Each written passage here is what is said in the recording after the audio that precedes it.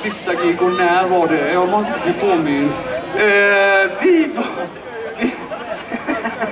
vi var inte här i närheten. Nej, vi var i, eh, på en lyxkryssare i Karibien.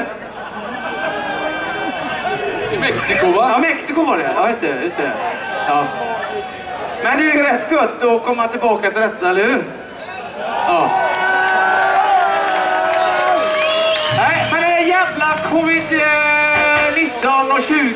hand om hela den här skiten. Jag tycker vi glömmer den ikväll nu så har vi skoj istället, eller hur?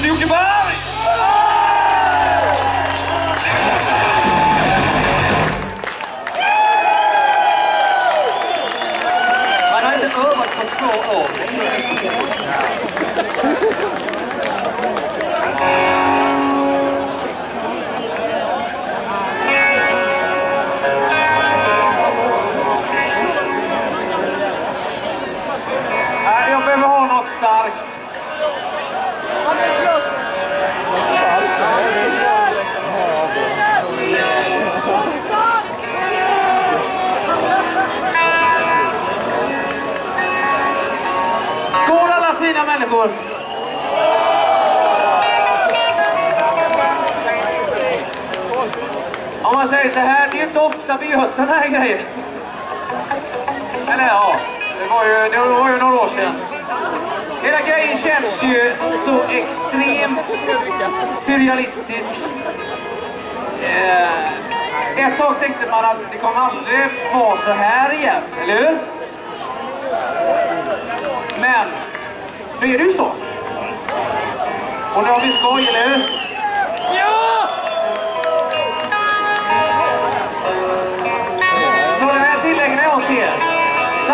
special.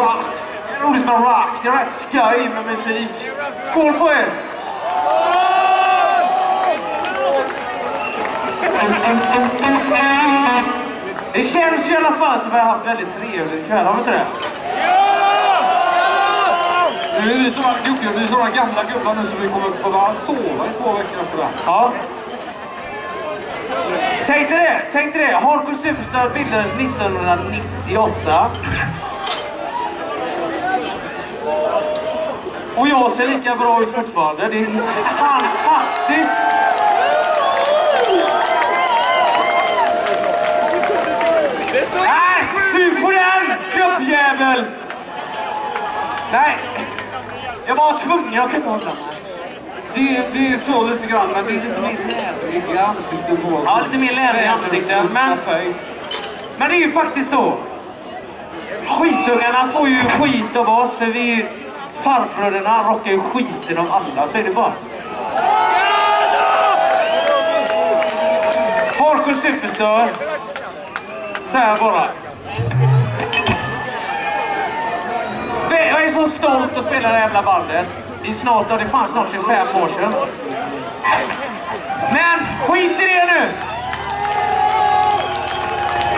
Vi tänkte köra en låt till. Sjung nu med Apetroll. Ja, nu vill jag att alla sjunger med.